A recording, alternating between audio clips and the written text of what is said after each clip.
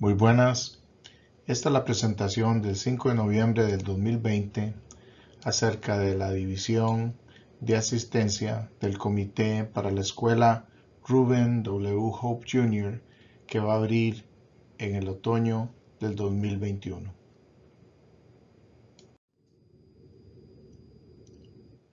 Durante el semestre del otoño del 2020, el distrito escolar empezó el proceso de revisar los límites de asistencia para preparar las escuelas que abrirán en el 2021. La escuela primaria Ruben Hope impartirá clases de prekinder hasta cuarto grado y abrirá en el otoño del ciclo escolar 2021-2022. La escuela está situada en el área de Granger Pines Way y tendrá una capacidad para 950 estudiantes. En esta foto aérea pueden ver el área donde se está construyendo la escuela. En esta foto podemos ver la arquitectura y la fachada de la escuela. Aquí podemos ver en plena construcción. Esta foto fue tomada hace unas semanas. Aquí podemos ver otra toma aérea de la escuela. Esta toma es de la parte de atrás de la escuela.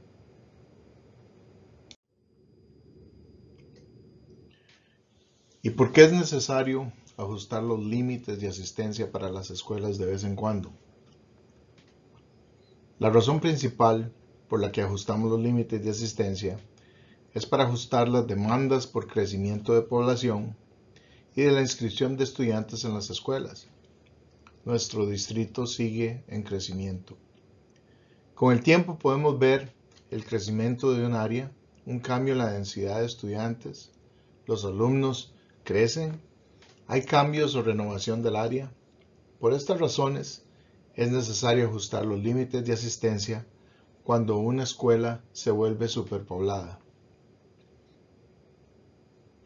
El 30 de septiembre del 2020, nuestra inscripción fue de 64.512. Terminamos el año 2019 y 20 en mayo con una matrícula de 64.450. No es mucha la diferencia, pero creemos de que se debe al coronavirus, donde la matrícula pues ha bajado un poco. ¿Por qué comenzamos este proceso de rezonificación? Pues Austin Elementary tiene una capacidad aproximada de 900 estudiantes en el 2020, pero actualmente tiene una matrícula de 966 estudiantes. Por eso utiliza 11 aulas portátiles. Para el 2028, Austin proyecta tener 1.551 estudiantes.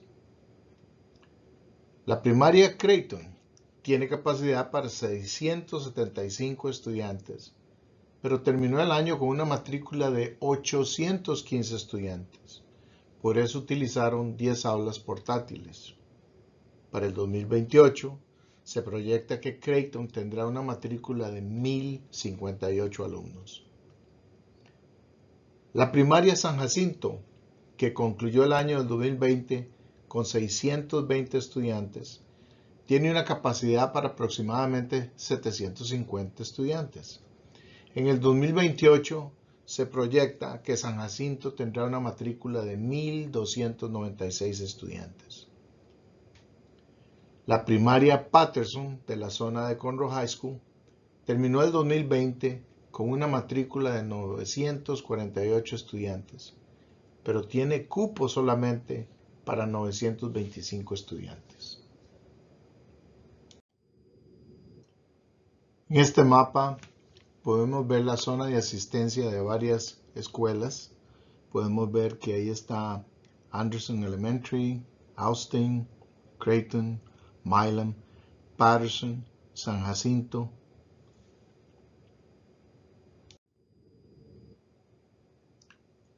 Y en este mapa podemos ver los residenciales, las colonias, el crecimiento de población en el área de Caney Creek. Es importante saber la distinción entre la inscripción geocodificada comparada a la inscripción real. Aquí va la explicación. Los números geocodificados reflejan el número de estudiantes reales que viven dentro de una unidad o zona. Los números de inscripción real reflejan el número de estudiantes inscritos en una escuela, debido a que puede incluir transferencias y estudiantes traídos de otras zonas para programas especiales como prekinder y servicios bilingües.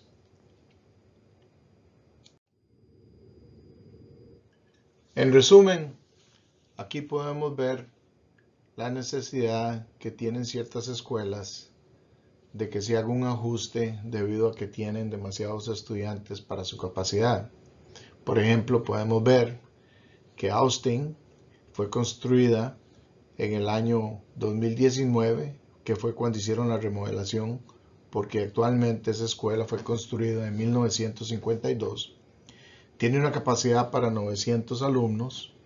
Actualmente tiene 11 aulas portátiles y para el 2020 acabó con 966 alumnos, 66 alumnos más de lo, para lo que tiene capacidad. Para el 2021 se proyecta a 969. Para el 2025 se espera que tenga 1.295 alumnos y para el 2028 1.551. Como pueden ver, esta área de Lee's County, del área de Caney Creek, sigue creciendo. Se preguntará, ¿qué tratamos de lograr en este proceso de razonamiento? Objetivos. Desarrollar un límite de asistencia para poblar la escuela primaria Ruben Hope y guardar cierta capacidad en la escuela para el crecimiento futuro. También proporcionar alivio de aglomeración y proveer capacidad futura a las escuelas primarias Austin, Creighton y San Jacinto. Se proyecta que tendremos 4.020 estudiantes de primaria en la zona de Caney Creek High School para el 2025. Tendremos capacidad para 4.175 con la apertura de Hope Elementary. Actualmente tenemos capacidad para 3.250 estudiantes. La proyección en ocho años para las primarias de Caney Creek High School es de aproximadamente 4.815 estudiantes y se prevé que vamos a necesitar una escuela adicional en pocos años. Nota, toma en cuenta que los programas especiales como prekinder y bilingüe pueden alterar la capacidad real de una escuela, por lo que todos los números son estimaciones.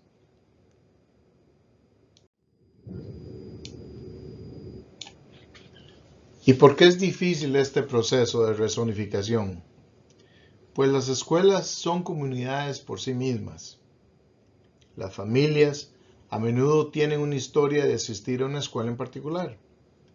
Las familias a menudo eligen dónde viven para asistir a una escuela específica. Las rutinas familiares se interrumpen cuando cambiamos los límites de asistencia. No hemos abierto una escuela primaria nueva en la zona de asistencia de Caney Creek en varios años. Es probable que vayamos a impactar muchas familias para lograr los objetivos deseados en el ajuste de la matrícula en las escuelas debido al crecimiento en esta zona. Anticipamos abrir otra primaria en el 2024 o 2025, según fue aprobado por el bono en el 2019. Y probablemente necesitemos abrir otra escuela primaria adicional en un futuro próximo. Por lo que este razonamiento no es una solución para siempre. También anticipamos la reasignación a la escuela Moorhead Junior High de nuevo a escuela intermedia en el 2023 cuando se abra el reemplazo de Moorhead Junior High por una escuela Junior High con más capacidad de alumnos.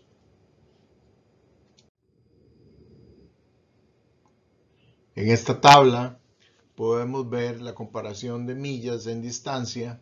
Por ejemplo, si vemos la primera, que es el vecindario de Duck Creek y que queda en, en el 105, podemos ver de que en el mapa es la zona 23 y que serían 6.2 millas para Austin, 11 millas para Creighton, 13 millas para Hope, 12 millas para Milan y 18 millas para San Jacinto Elementary.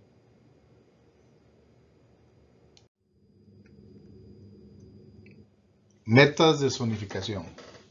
Las siguientes metas se usan como una guía durante el proceso de zonificación del distrito. Estar conscientes de que nuestra misión es proporcionar educación y bienestar a todos nuestros estudiantes. Rediseñar límites de asistencia que apoyen de manera eficaz y efectiva el uso de las instalaciones y recursos escolares cumpliendo nuestra responsabilidad fiscal con el público. Planear y permitir un futuro crecimiento a través de la zonificación de escuelas existentes y nuevas. Reducir las inscripciones de las escuelas con sobrepoblación. Comunicar a las familias que puedan ser afectadas por los posibles cambios de zonificación y dar la oportunidad a todos para externar opiniones a través de las juntas de la comunidad, del portal del distrito y comentarios por escrito. Establecer un comité de límites de asistencia, ABC en inglés, que desarrollará escenarios propuestos de límites de asistencia, presentar escenarios para introducir juntas virtuales de la comunidad y desarrollar planes de zonificación recomendados para la Junta Administrativa de Conroe ISD. Anticipamos abrir el campus de reemplazo más grande para Moorhead Junior High en el 2023. En esta tabla podemos ver los miembros del comité. Por ejemplo, podemos ver que Austin Elementary tiene a la directora, la doctora Serena Pearson, a un padre de familia, Laura Winford. Está del distrito, tenemos a la doctora Debbie Phillips, superintendente de educación primaria. Después de muchas reuniones, el comité aquí les presenta el escenario 6.4. Este es uno de varios escenarios que están contemplando, que están viendo, que están analizando. En esta tabla podemos ver los vecindarios con el número de zona para que puedan ser localizados en el mapa que vieron anteriormente. Por ejemplo, pueden ver de que la zona 25E, que es de Forest Trace, va de Austin Elementary hacia Creighton Elementary y que va a impactar a 144 alumnos.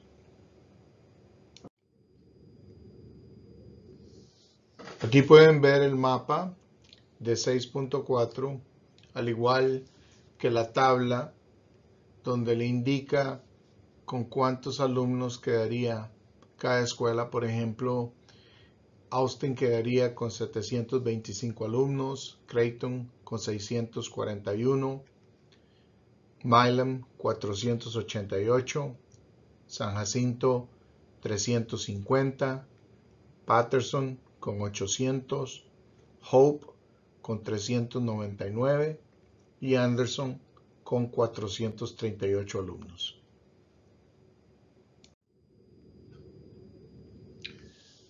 Un análisis rápido del escenario 6.4.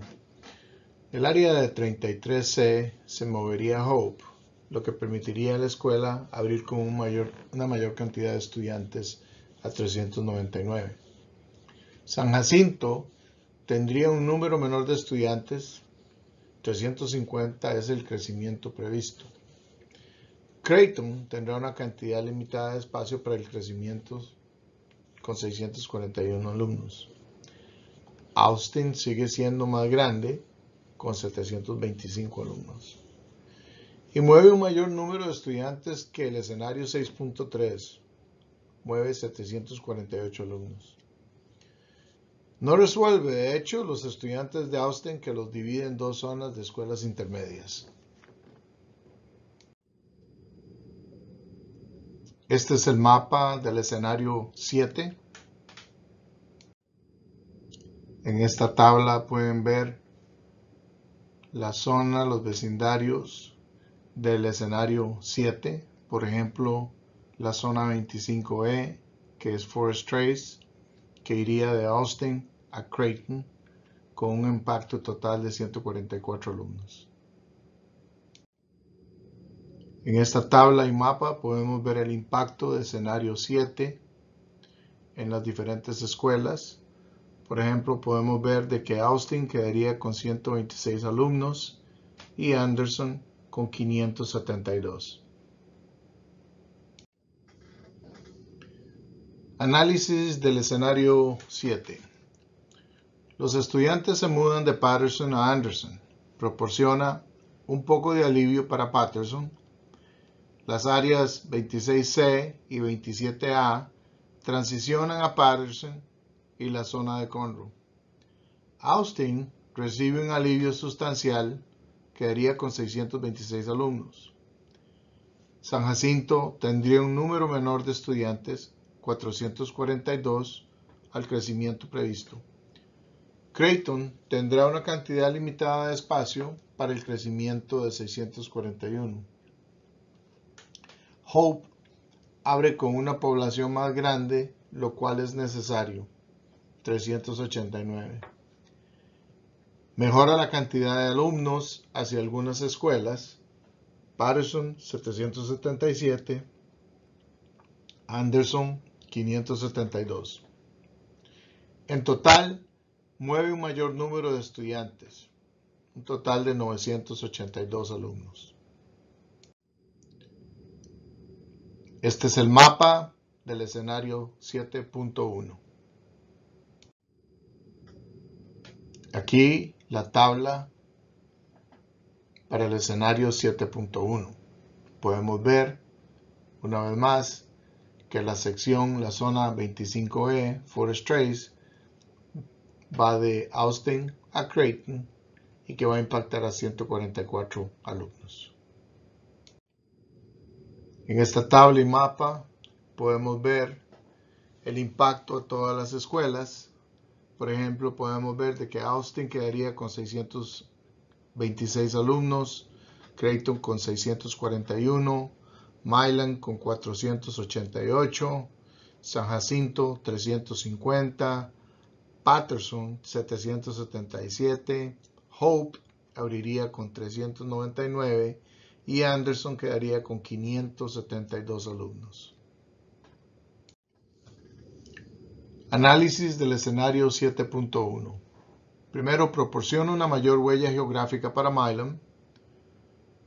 San Jacinto tendría un número aún menor de estudiantes, 350, crecimiento previsto. Creighton tendrá una capacidad limitada de espacio para el crecimiento, 641. Austin recibe un alivio sustancial, 626 alumnos.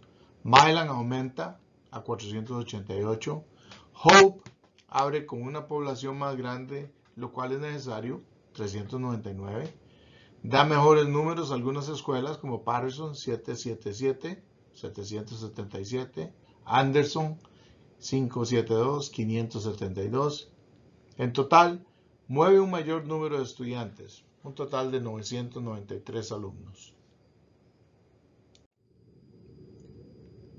En esta tabla podemos ver la matrícula actual y el movimiento que hacen los escenarios 6.4, escenario 7, escenario 7.1. Por ejemplo, en Austin, el escenario 6.4 movería 725 alumnos, o la escuela quedaría con 725 alumnos escenario número 7, Austin quedaría con 626 y el escenario 7.1 eh, sería igual para Austin, 626 alumnos. Consideraciones de la zonificación. Durante el proceso se consideran muchos aspectos. Algunas de las posibles consideraciones del comité, sin un orden en particular, incluyen la capacidad de las escuelas, la opinión de la comunidad, factores demográficos, patrón de distribución e historial escolar, proximidad geográfica, ubicación de colonias y comunidades existentes, ubicaciones naturales y otros límites tales como vías públicas, carreteras, vías de tren, cuerpos de agua, etc. Minimizar el impacto en las familias. Número de veces en las que el área ha tenido zonificación recientemente o a futuro. Posible ubicación de futuras escuelas.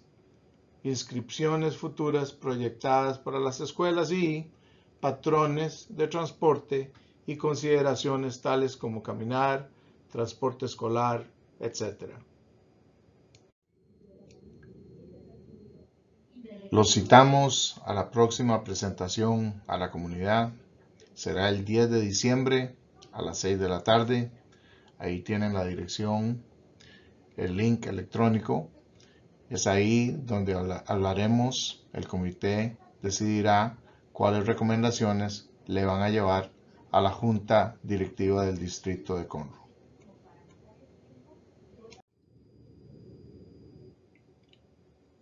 Queremos recalcar que no nos tomamos la tarea de cambiar los límites a la ligera. Estamos comprometidos a proporcionar una experiencia educativa de calidad en todas nuestras escuelas y que queremos tener una recomendación en enero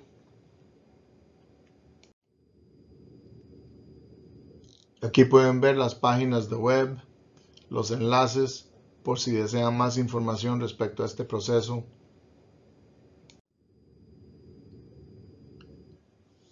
Ustedes nos han hecho varias preguntas, por ejemplo, ¿qué niveles de grado se verán afectados? Será de prekinder hasta cuarto grado, ya que Ruben Hope es una escuela primaria de prekinder a cuarto. Otra pregunta es, que si vamos a resonificar los límites de la escuela intermedia, pues ahorita no, en estos momentos no, porque nada más, como dije, de prekinder a cuarto. En el futuro sabemos de que vamos a, a construir una junior high en el 2025, donde la Moorhead se va a convertir en una intermediate school, así que para ese entonces tendremos que hacer otra rezonificación para escuelas de intermedia, pero en estos momentos no. ¿Qué pasa con los programas especiales como el título 1, bilingüe, educación especial y clases de pre-kindergarten? Pues espera tener todos esos programas en la Hope. Otra pregunta es, ¿qué pasaría con los estudiantes actualmente de tercer grado que desean terminar el último año en su campus? Pues pueden pedir un permiso y si se les permite y por lo general eh, los hermanitos también pueden quedarse a terminar el año, ya que no queremos separar a la familia. Entonces un alumno que esté en tercero ahorita, eh, que quiera eh, terminar cuarto grado en la escuela donde está ahorita, suponiendo de que le tocara moverse a otra, pues se puede quedar en esa escuela por un año, terminar su cuarto grado y también sus hermanitos podrían quedarse ahí es importante decir de que el distrito escolar en ese caso no proveería transportación, tendría que ser transportación por parte de los padres. Otra pregunta es quién decide cuál escenario sería seleccionado. Pues es la junta directiva. La junta directiva del distrito independiente de Conroe son los que deciden. Este comité simplemente le presenta escenarios. Como vieron, eh, tenemos varios escenarios que vamos a presentar pero es la junta directiva del distrito eh, que es la que decide cuál, cuál escenario escogen. La última pregunta aquí, que se podría hacer alguna modificación a los escenarios propuestos, pues sí, sí, sí eh, se puede hacer una modificación pequeña, sí, eh, sí se pueden hacer cosas así, pero si fuera algo grande donde va a mover y afectar muchas personas tendríamos que volver a comité, tendríamos que volver a informar a la comunidad. Así que la respuesta es, si es una modificación chica, pues sí es posible hacerlas. Otra pregunta, vivimos a media milla de distancia de nuestra escuela, ¿seré rezonificada? Ojalá que no, la idea es mantener a la gente cerca de las escuelas, pero no, se no, se, no podemos prometer aquí que, que no va a suceder. Vivo muy cerca de Milan y Hope y quiero asistir a la nueva escuela. Podemos elegir y estar inscritos ahí. Puede pedir una transferencia y será aprobada si hay campo, pero sí pueden pedir una transferencia. Eh, por lo general, una transferencia de ese tipo no provee transportación. Serían los padres los que se harían cargo de ese transporte. Aquí dice, no vivo cerca de la nueva escuela, ¿qué tan probable es que me resonifiquen? Pues todavía no sabemos, ¿verdad? Están los, ahí están los escenarios que presentamos.